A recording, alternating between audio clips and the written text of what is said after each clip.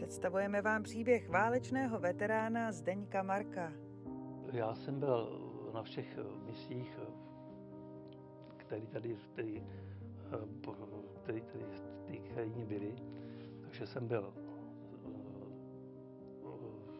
eh, na misi UMPRFOR, potom jsem byl na misi IFOR a na misi končil jsem za SFOR v roce 98. Bylo mi 29 let, když jsem byl do UMPROFORu. Zpočátku jsem tam byl na pozici elektromechanika a opravovali jsme automobily, byl jsem na rotě oprav techniky a potom eh, druhou misi jsem se dostal na první rotu rychlého nasazení, kde jsem dělal výkonného praporčíka. Eh, byl jsem v těžké situaci, v tě, jsme byli všichni, ale eh, když bylo po ofenzivě v tom roce 95 a jeli jsme tím otečem, jsme jeli ještě sbírat ty lidi, kteří tam zůstali po té ofenzivě, protože tam sbírali i, i ty srbové, kteří je tam naháněli tak jsme tam eh, odchytili eh, jednu rodinu, ještě asi nějaký lidi. Bylo tam asi 12-13 lidí, který jsme strčili vlastně do otéčka a jeli jsme přes Udvinu směrem na vlastní stanoviště. A po cestě nás odchytila ta eh, chorvatská armáda, která nás zastavila a chtěla, aby jsme jim ty Srby vydali.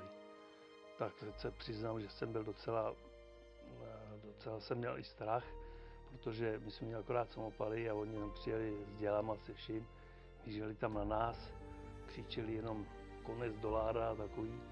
A nás tam bylo 8 v OTčku a byli tam ty civilisti, takže jsme tam byli docela nadspaní a čekali jsme, co bude. Tak co tam byl velitel Čety, tak eh, ten je dost uh, odbýval, že jim nemůžeme vydat, že je musíme přijet na základnu. Tak tam potom probíhaly různé telefonáty, kdy oni vlastně se, se domáhali Izraelců nebo těch uprchlíků a my jsme, my jsme tady tam vlastně schovali v tom utečku. Ale říkám, kdyby, kdyby se to asi z auto nějak zvrtlo čeldy, jak by to dopadlo.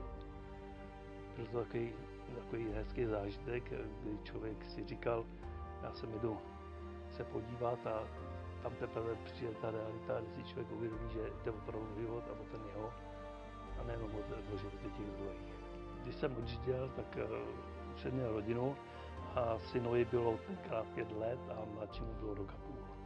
Žena si zvyká a potom už nic nenamítala. Potom asi jsme si na ten stav zvykli takovým způsobem, že bylo lepší, když jsem potom ty mise končil, protože už jsem se do toho moc, až moc jsem se do toho, jak bych to tak řekl, dostával. No. Tohle to je fotka v den manželovo odjezdu na jeho první misi. Je to fotka z tábora, kde jsme se loučili, já a děti.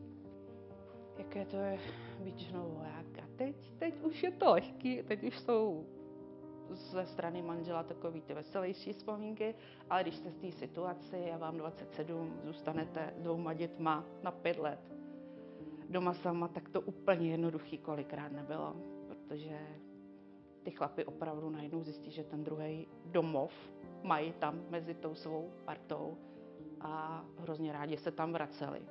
Což samozřejmě nám se doma už moc nelíbilo, že jo. Čekali jsme pomoc a... Eh, ty klíčové problémy byly už za mise, že to člověk neuvědomoval a tak nějak jsem si zvyknul na to, že se furt o mě někdo stará, že od někam někam dojedu, přejedu, pak někdo plácne pod rameno, všechno je dobrý. Vždycky, když jsme přijali tu dovolenou, tak jsem si připravil těžký hrdina, že oni všichni musí udivovat. Tady si mě nikdo ani nevšim. A potom už člověk z toho začínal blbnout, jo, že jsem byl potom po, po každé ty misi hrozně nervózní, steklej a to mi jako o tom vadilo. Viděl jsem, že už musím z té armády odejít, protože už to bylo moc, už začaly problémy i doma a to nebylo dobře. No. O manžela jsem se často bála, to, to určitě přenášelo se to i na děti, na maminku, manžela, že jo, takže s tou jsme to hodně často řešili, ten strach, ty obavy, vzájemně jsme se uklidňovali, bylo to tam. Určitě jsme byli strašně rádi, když manžel nám oznámil, že po pěti letech s misema končí. Když jsem uh, odešel z armády, tak jsem si splnil svůj sen, odjel jsem do Ameriky na pár měsíců a potom jsem nastoupil policii, kde jsem vlastně sloužil na tvoru tedy malé vesnici za Krumlovem. Potom jsem byl v Budějcích na kriminálce a končil jsem vlastně na Národní protidrogové centrále v Praze. A v podstatě jsem přešel k hasičům. Sama státní služba mě chytá v poslední chvíli. Já jsem byla instruktorkou ve fitness, plus teda jsem učila eh, děti plavání, takže učitelka plavání plus plavčík, to jsem dělala vlastně 20 let, takže celý život zase já jsem se věnovala sportu. Právě při jedné výukové hodině, kdy jsem děti učila obrátku a při odrazu po tu stěnu jsem uslyšela jen hroznou ránu a byl to ze začátku jenom meniskus, takže jsem šla na klasickou operaci, ale tam se pak zjistilo, že jsem dostala Sudekův syndrom, což mají převážně jenom sportovci a laicky řečeno, tak jak to vysvětlili mě, prostě můj mozek odmítá přijmout nohu zpátky, takže jsem pod neustálou hrozbou amputace, ale bojuju. Vždycky člověk to vidí okolo sebe, ty nemoci, ty choroby a tak nějak si myslí, že to se o to netýká. Dokáže ty ostatní polito a všechno, ale sám si nepřipouští, že by se to mohlo přijít, že by ho to mohlo potkat. Jako, já jsem se ráno provodil před Vánecem a to byl jsem nějaký nervózní a jsem byl další dobu a pak eh, mi bylo ne jako zle. Nevěděl jsem, co mám dělat, jako psychicky, že jsem se nevěděl vůbec, kam se mám zařadit, tak nějak jsem se v tom motal. Tak jsem si došel eh, na kontrolu, kde mi vlastně zjistili nemocní srdce. Eh, dostal jsem do srdce tři stenty a Myslel jsem si, že to, je, že to mám za sebou, pak jsem začal furt škobrtat za nohu a jsem nevěděl, co se dělal, tak po dvou měsících jsem šel znova do nemocnice. No a tam mi zjistili rakovinu mozku a neléčitelnou a neoperatelnou.